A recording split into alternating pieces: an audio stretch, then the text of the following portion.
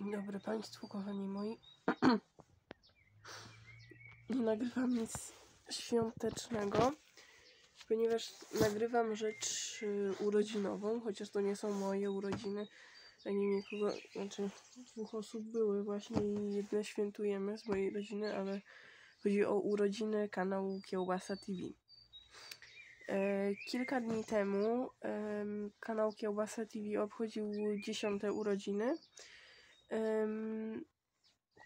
A wczoraj y, mijało 10 lat od opublikowania na nim y, dwóch pierwszych filmów.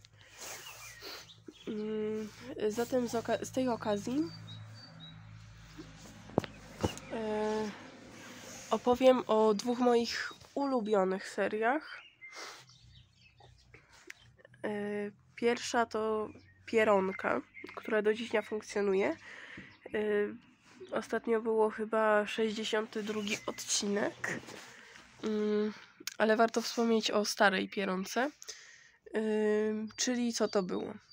Y, Dadaistyczne produkty, dziwne waluty typu peso austro-węgierskie y, w kosmicznych cenach i y, były to produkty, y, na których pomysły podsyłali widzowie. W ogóle dziesiąty odcinek to był em, zebranie najlepszych pomysłów plus y, krążąca wtedy po internecie maść na ból dupy.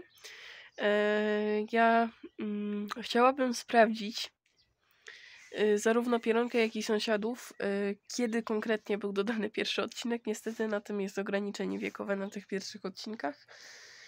No i nie mogę sprawdzić. Mm, Ale w 2012 obie serie się zaczęły. Y, Wiem, że Pieronka chyba jakoś na jesieni. E, Pamiętam, pamiętam, że wpisałam reklama Biedronki parodia jakoś w 2013 chyba na początku, kiedy tak zaczęłam oglądać YouTube'a i mi to wyskoczyło.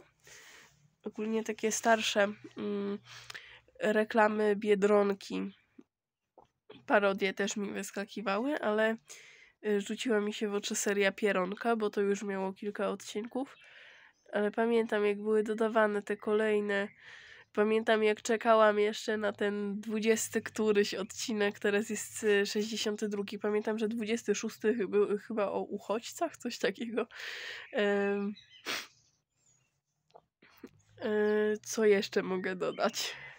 Muszę się chwilę zastanowić. To jeszcze mogę dodać, że em, to jest jedna z pierwszych takich serii na polskim YouTubie i em, jedna z najstarszych i najdłużej nadal aktywnych. I e, że są też jakby serie z innymi sklepami, na przykład Lidl, czyli wiadomo, Lidl, Coolphone, y, chiński market, czyli nie wiem co. ale one nie cieszą się mm, aż tak dużą popularnością jak, e, jak e, Pieronka.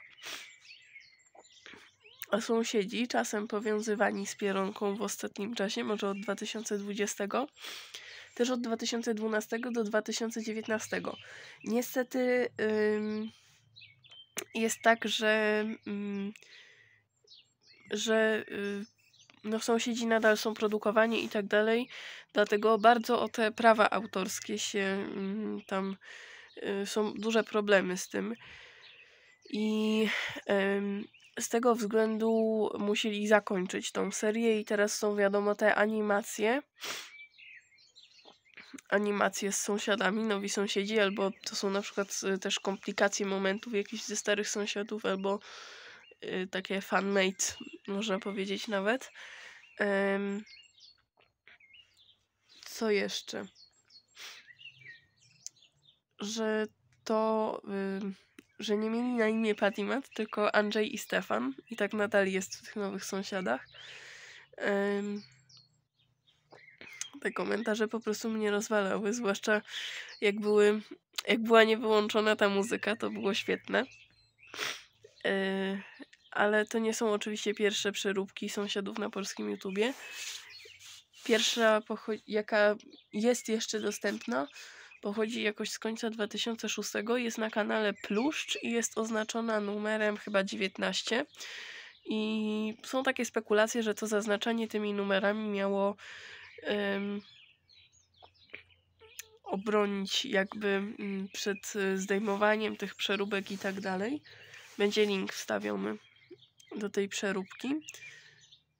E, I zapowiadam, że za parę dni będzie kolejny odcinek Pamiętasz to?